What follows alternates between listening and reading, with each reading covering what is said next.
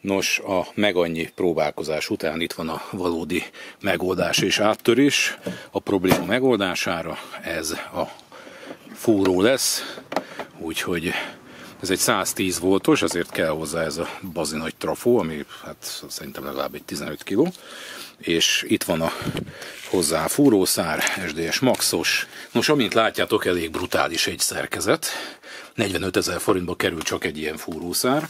Ezt most én béreltem a gépet is, és a fúrószárat is. Úgyhogy az én hikomattos könyökömnek ez most nem nagyon fog használni ismét. Úgyhogy lehet, hogy most egy darabig megint majd pihentetnem kell. Nos, épp, hogy elférjek itt a géppel az árokban, és láthatjátok, hogy itt eh, lent már én elkezdtem egy 65-ös átmérőjű lyuknak a fúrását. Az nagyon-nagyon fontos, hogy akár kisebbel, akár nagyobb fúrószárral fúrtatok már előre, akkor nem szabad rámenni ilyen videobetétes fúrószárakkal, hogyha másképp repeszti az anyagot, akkor begyűrheti, bepréseli a kemény anyagba, és ez nagyon-nagyon kellemetlen dolgot okozhat, méghozzá kitörik a 45 ezer forintos fúrószárunkból a videobetét, és az elég kellemetlen. Na, úgyhogy ezt kerüljétek el, soha ne fúrjatok el. Én is egy másik lyukot kezdtem teljesen előről, hiába már 20 centinél jártam a másikkal, de elég keményen kell kapaszkodni ebbe a gépbe.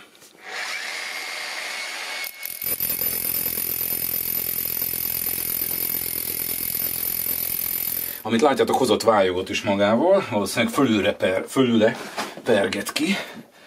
Nagyon gondolkoztam rajta, hogy csak egy lyukat hagyod, de már itt van állam a gép, akkor még egy lyukat fúrok vele.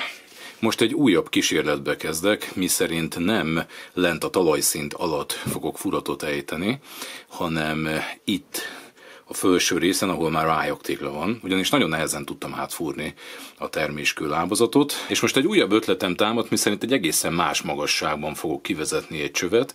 Itt már biztosan száraz a fal, és egy sörkollektorra emlékeztető rendszer fogok kiépíteni, amit fölmelegít a nap, ezért kialakul egy feláramlás, és ennek köszönhetően egy folyamatos légáramlás alakul ki, és arra számítok, hogy ezzel egy automatikusan nyári időszakban lehet eh, gyakorlatilag eh, áramoltatni ebben az egész rendszerben a levegőt. Ugye ezek a tervek, most kísérletezem rajta, ehhez pedig ezt a házi gyártmányú koronafúrót használom, amit az egyik nagyon kedves ismerősömtől kaptam kölcsön. Sajnos ez ugye csak vályogfalak átfúrására alkalmas, de itt most kapóra jön, mert, mert tök egyszerűen át tudom vele tényleg fúrni. Lássuk is. Sajnos nem egyszerű megtartani ezt az eszközt, nem sok kell szerintem, hogy átérjek a falon. Ugye lassú fordulaton kell ezzel fúrni, és ütvefúró nélkül.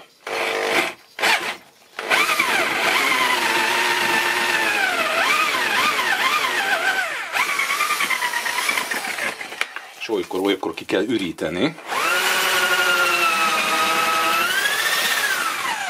Úgy tűnik sikerült, épp hogy már befeszült fúró, és átértem a másik oldalra.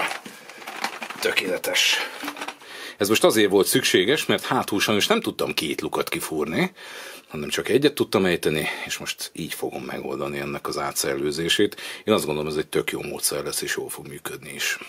Végre elérkezett egy elég nagy lépés itt a Raktár Projectben, méghozzá a körülvevő kavicságynak a kialakítása. Hogyha megnézitek, akkor ott van az a ceruzás jelölés, tehát ott lesz majd a talajszinten. A legegyszerűbb módszer véleményem szerint, hogyha kapával szedjük ki a földet, Ugye itt láthatjátok ezt a kis lapátot, az az egyik megoldás, a másik a nagy lapát, de én úgy döntöttem, hogy inkább így a kapával szedem kell most félkézzel. Tehát így ráteszitek a földet, beleborítjátok, ráteszitek a földet, csak hát így egy kézzel is ráadásul hikamottos is a kezem nagyon megerőltettem, és minden egyes mozdulat fáj vele. Úgyhogy így, így a legegyszerűbb kiszedegetni szerintem innen.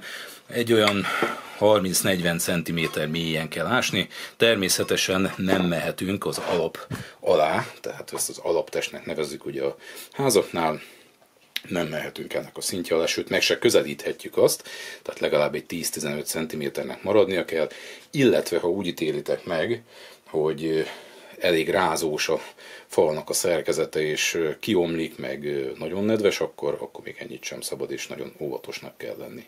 Íme így néz ki most a terület, ami félig már fel lett töltve. Ugye most fogom betenni ezt a dréncsövet, ez egy 50-es átmérőjű dréncső, és most jelenleg 7 óra van. Ugye 5 órakor kezdtük, hogyha jól emlékszem, fél hétig hordtuk a kavicsakat, és fél óráig kerestem ezeket a TL ágazókat. Valószínűleg már több kavicsot nem hordunk, ugyanis nagyon-nagyon fontos, hogy száraz és lehetőleg a naptól átforrósított kavicsot hozzunk be ide. Ez meg is történt, viszont ehhez az kellett, hogy a kupacnak a széléről, tetejéről bányásszuk le ezeket a kavicsokat, és már sajnos eljutottunk arra a szintre, amikor már nedves volt az. Ezt nem szabad felhasználni természetesen ilyenkor a kavicságy feltöltésére. Nagyon-nagyon fontos, hogy nem teszünk semmiféle más anyagot, tehát geotextilt és más egyebet. Sokat gondolkoztam azon is, hogy tegyek-e bármiféle védekező rendszert az egerek ellen, például üvegcserepeket, vagy bármi mást, de azt gondolom, hogy mivel ebben a kavicságyban nehéz lenne közlekedniük, így nem is fognak. De gondoljatok bele, hogy ha ezt elkezdik megkaparni, akkor ez folyamatosan beszakad, beomlik, tehát ebben nem tudnak üreget válni maguknak, úgyhogy ez már eleve megkeseríti az életüket. Ezért én azt gondolom, hogy nem szükséges, hogy további védekezést alkalmazzak, de mindjárt meg is mutatom nektek, hogy mit vásároltam ahhoz, hogy az olyan kritikus helyekre, ahol eddig egérjük volt, hogy betegyem ezeket a védőhálókat.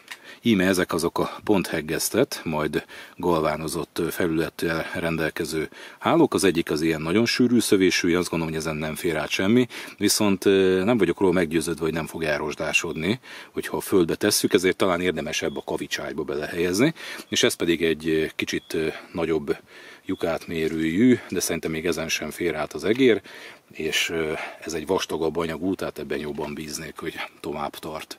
Szerintem egy 5-10 évet a talajban biztosan kibírnak, lehet, hogy többet is. Nos, ideglenesen elhelyezve így néz ki a dréncső. Ezt lehetőleg minél közelebb kell tenni a falhoz. Itt már egész jó pozícióban is van.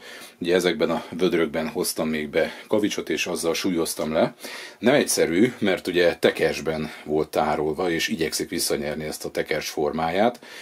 Úgyhogy hát annyira fel is bosszantott emiatt, hogy egyszerűen ezekből a kavicsból ugyan annyira könnyen kipattan, hogy ide is például a sarokban már egy ennyi két vödör ö, anyaggal tudtam kavicsal megtámasztani. És ugye itt van a csatlakozás, ide egy télágazó került beépítésre. Ugye az télágazónak a, az a vége ugye kifelé megy, és az gyakorlatilag csatlakozik bele abba a hosszú csőbe, ami már innentől kezdve zártan átmegy a falon, és ebbe pedig egyszerűen ütközésig bele kell tolni ezeket a dréncsöveket, pont illeszkedik bele, egy gumi karmantyú van benne, ami, ami megszorítja. Itt igazán nincs szükség szigetelésre, hiszen 360 fokban, amint látjátok, ki van lukaszgatva, perforálva van ez a dréncső, és ez hivatott arra, hogy majd elvezesse szépen az itt megszoruló talajpárát. Úgyhogy így kell szépen minél közelebb a falhoz, akkor majd elkezdjük feltölteni kavicsal, akkor, akkor már elnyeri a végső formáját. Úgyhogy már nem sok van hátra, de most egyelőre letesszük a lantot, fél nyolc elmúlt, sajnos sötétedik, úgyhogy ez egy következő nap projektje lesz. Addig, addig pedig hadd szikadjon a vakolat, mert egy-két helyen még mindig, mindig van rajta vízfolt és nedves. Addig úgyse tudok glettelni, amíg az ki nem szárad. Úgyhogy beállítom ide a ventilátort, addig amíg itthon vagyunk, addig szépen ventilátorozunk.